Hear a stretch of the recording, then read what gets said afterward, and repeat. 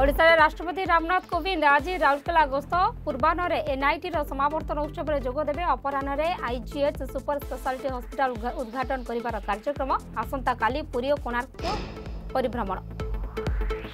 ଯାଜପୁର ଧର୍ମଶାଳା ବେଆଇନ କଳାପଥର ଖନନ ମାମଲାରେ ତଦନ୍ତ କରିବେ ଲୋକାୟୁକ୍ତ ଷାଠିଏ ଦିନ ଭିତରେ ରିପୋର୍ଟ ଦାଖଲ କରିବାକୁ ଲୋକାୟୁକ୍ତଙ୍କ ନିର୍ଦ୍ଦେଶ ଆସନ୍ତା ମେ ସତରରେ ହେବ ପରବର୍ତ୍ତୀ ଶୁଣାଣି ଯାଜପୁର ବାଲିଚନ୍ଦ୍ରପୁର ଥାନା ଅନ୍ତର୍ଗତ ନଳିପୁର ଗାଁରେ ଦୁଃଖଦ ଘଟଣା ବିଦ୍ୟୁତ ତାର ସଂସ୍ପର୍ଶରେ ଆସି ମା ପୁଅ ମୃତ ବିଦ୍ୟୁତ ସର୍ଟ ସର୍କିଟ୍ ଯୋଗୁଁ ଟିଣଘର ଚାର୍ଜ ହୋଇଥିବା ସୂଚନା ଅନୁଗୁଳ ସମ୍ବଲପୁର ଜାତୀୟ ରାଜପଥରେ ଜରପଡ଼ା ଥାନା ନିକଟରେ ସଡ଼କ ଦୁର୍ଘଟଣା ଆମ୍ବୁଲାନ୍ସ ଗ୍ୟାସ୍ ଗାଡ଼ି ମୁହାଁମୁହିଁ ଧକ୍କା ଘଟଣାସ୍ଥଳରେ ଚାରି ଜଣଙ୍କର ମୃତ୍ୟୁ ଉଦ୍ଧାର କାର୍ଯ୍ୟ ଜାରି